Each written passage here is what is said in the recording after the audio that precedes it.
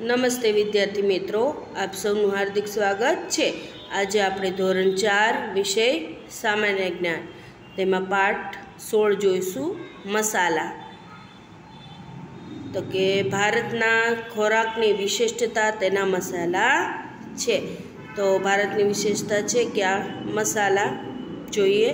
અહીં ભારતની મસાલાના ચિત્ર આપેલા છે. દરેક ચિત્ર ઓળખી મસાલાનું નામ બોક્સમાંથી પસંદ કરી ખાલી જગ્યામાં લખવાનું છે. તો વિદ્યાર્થી મિત્રો, અહીં મસાલાના ચિત્ર આપેલા છે. તો તેને ઓળખી અને તેનું નામ ખાલી જગ્યામાં આપણે લખવાનું છે. તો જુઓ, પહેલું ચિત્ર શાનું છે.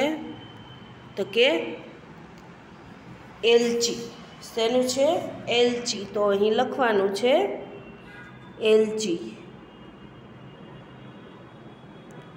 એલચી બરાબર? બીજું ચિત્ર શાનું છે? તો કે મરી. બરાબર? મરી. હવે ત્રીજું ચિત્ર જોઈએ. ત્રીજું ચિત્ર શાનું છે? તો કે લાલ મરચું. લાલ મરચું. પછી ચોથું હળદર. દર. પાંચમું છે રાઈ. રાઈ. છઠ્ઠું છઠ્ઠું ચિત્ર શાનું છે? તકે છઠ્ઠું ચિત્ર જીરું. જીરું. સાતમું લવિંગ.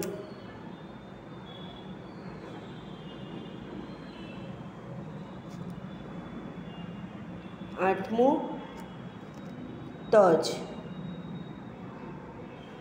બરાબર? આવી રીતે નામ લખતા જવાના છે. નવમું ચિત્ર શાનું છે? જાયફળ. જાયફળ. દસમું ચિત્ર ચક્રફૂલ.